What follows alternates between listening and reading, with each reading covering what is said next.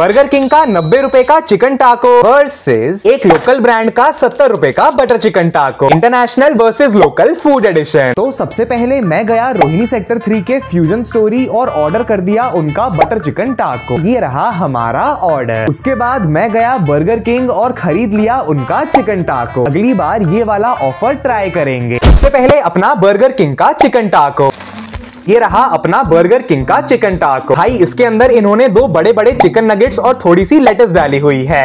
वैसे तो काफ़ी सिंपल सा है, लेकिन मुझे इसका टेस्ट बहुत पसंद आया। इसके बाद अपना बटर चिकन टाको भाई, इसके साथ इन्होंने मोमोज वाली चटनियाँ भी दी है।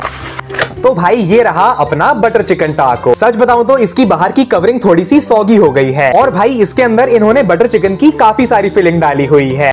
भाई, इनकी बटर चिकन की फिलिंग बहुत ज़्यादा कमाल की है। सच बताओ तो मुझे दोनों का ही टेस्ट काफ़ी ज़्यादा पसंद आया और आज का मैच टाई हो गया।